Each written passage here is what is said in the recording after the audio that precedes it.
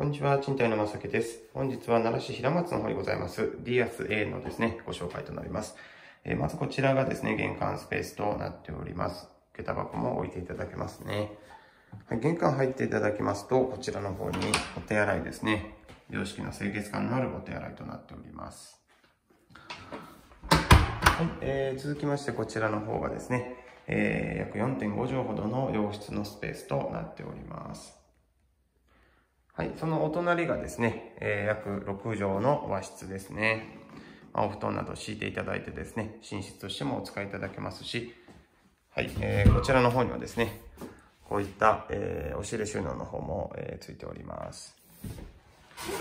はい、えー、続きましてこちらの方ですね。こちらからキッチンのスペースに、えー、入れるようになっておりまして、はい、キッチンの方もこのような広々としたキッチンスペースとなっております。基地の方はですね、二口コンロを置いていただけるような大きめのキッチンとなっておりまして、上下に収納、また給湯器のリモコンもついております。キッチンのそばからですね、えー、こちらの方ですね、室内洗濯機置き場で、こちらの方が独立洗面台となっておりますね。はい、奥の方がバスルームですね。広さの方もしっかりとございまして、上の方に換気扇の方もついております。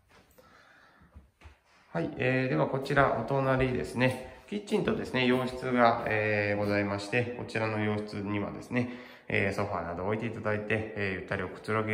おおくつろぎいただける、えー、お部屋としてお使いいただけますね。こちらの方にも収納ございまして、はい、えー、こちらですね、なんとエアコンの方が1台備え付けでついております。はい、またこちらバルコニーの方がですね、こういった形でですね、お洗濯物も干していただけるようなバルコニーのスペースとなっております。